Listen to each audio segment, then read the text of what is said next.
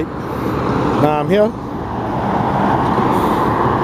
in that random video that I filmed when she was, when Eric was doing a face live telling about her booty. I don't know if y'all viewers heard that. yep. It'll be uploaded soon. Yep.